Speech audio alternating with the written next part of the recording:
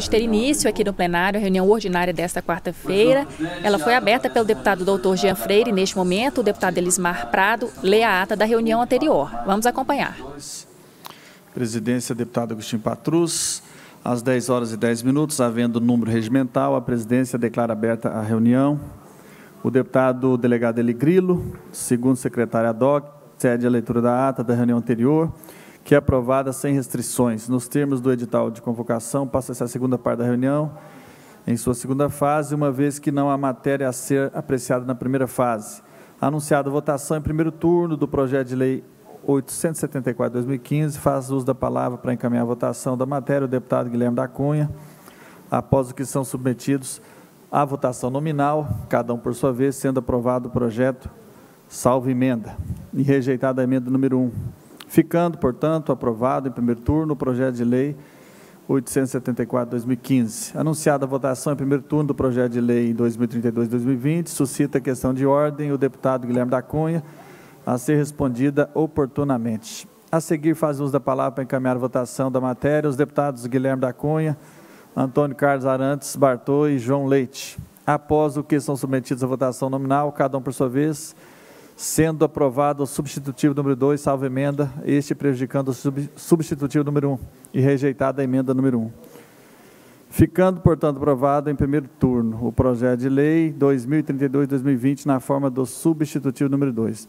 Anunciada a votação em primeiro turno do projeto de lei 2343-2020, faz uso da palavra para encaminhar a votação da matéria o deputado Guilherme da Cunha e a deputada Beatriz Cerqueira. Após o que são submetidos à votação nominal, cada um por sua vez sendo aprovado o substitutivo número 3.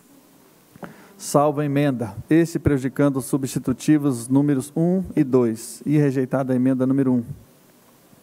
Ficando, portanto, aprovado em primeiro turno o projeto de lei 2343-2020 na forma do substitutivo número 3.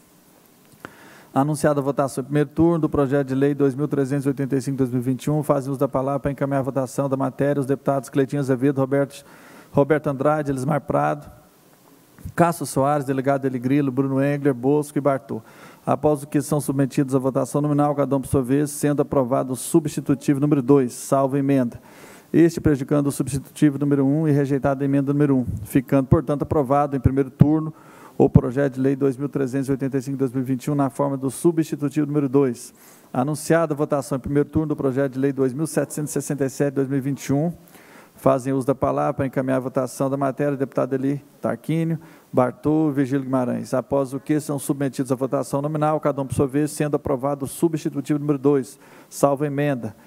Este prejudicando o substitutivo número 1 um, e rejeitada a emenda número 1, um, ficando, portanto, aprovado em primeiro turno o projeto de lei 2767-2021 na forma do substitutivo número 2. Nesse passo, é submetida a discussão e votação nominal e aprovado em segundo turno em turno único o projeto de resolução 125-2021, anunciada a discussão em primeiro turno do projeto de lei complementar projeto de lei complementar 72-2021. Vem à mesa requerimento da deputada Rosângela Reis, solicitando adiamento da discussão do referido projeto. Após o que faz uso da palavra para encaminhar a votação do requerimento, a deputada Rosângela Reis e o deputado Roberto Andrade. Ato contínuo é o requerimento submetido à votação nominal e rejeitado após o que tem o projeto sua discussão encerrada.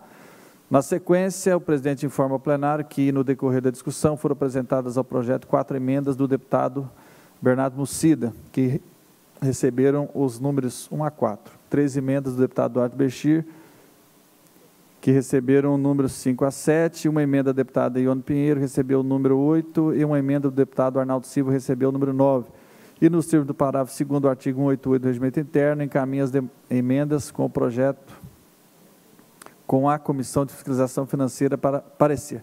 Isso posto, são submetidos à discussão, à votação nominal e, a, e, aprovados, cada um por sua vez, em segundo turno, os projetos de lei 4.861-2017, na forma do vencido, em primeiro turno, 5.399-2018, na forma do vencido primeiro turno, 2.383 2020 na forma do vencido primeiro turno e 2.531 2021 na forma do vencido em primeiro turno.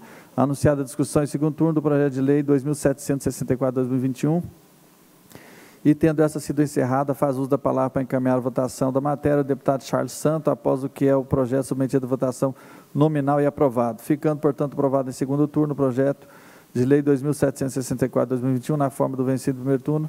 A seguir são submetidos à discussão e votação nominal e aprovados cada um por sua vez. Em segundo turno, o projeto de Lei 2.819-2021, na forma do vencido, em primeiro turno.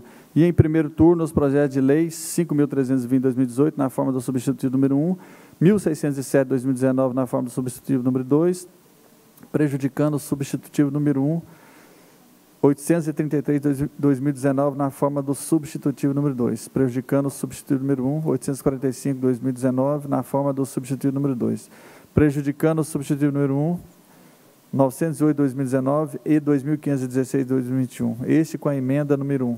Anunciada a discussão em primeiro turno do projeto de lei 3.257-2021 e tendo esta sido encerrada, a presidência informa ao plenário que no decorrer da discussão foi apresentado o projeto ao projeto um substitutivo do deputado Coronel Henrique, que recebeu o número 3 e nos termos do parágrafo 2 do artigo 188 do Regimento Interno, encaminha o substitutivo com o projeto à Comissão de Agropecuária para parecer. Nesse passo, são submetidos à discussão e votação nominal e aprovados, cada um por sua vez, em primeiro turno, os projetos de lei 3.285-2021, na forma do substitutivo número 2, prejudicando o substitutivo número 1 e 3.531-2022.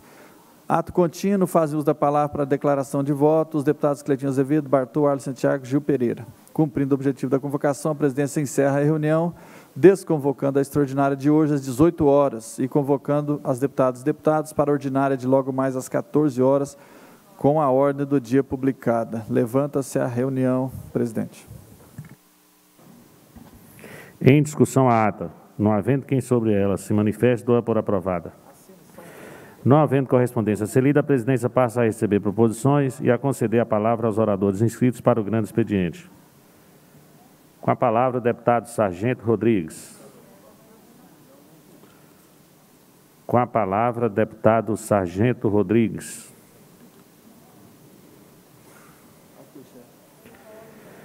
Não havendo outros oradores inscritos, a presidência passa a segunda parte da reunião, com a primeira fase da ordem do dia, compreendendo os atos da presidência, as comunicações, apreciação de pareceres, requerimento e indicações. Estão abertas as inscrições para o grande expediente da próxima reunião.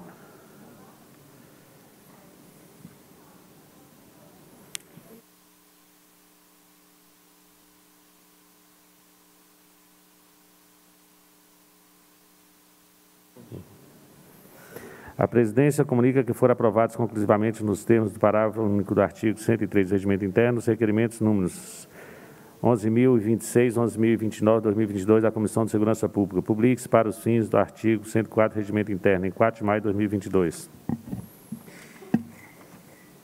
A Comissão de Desenvolvimento Econômico comunica a apreciação conclusiva de matéria da reunião ordinária de 4 de 5 de 2022. Ciente, publique-se.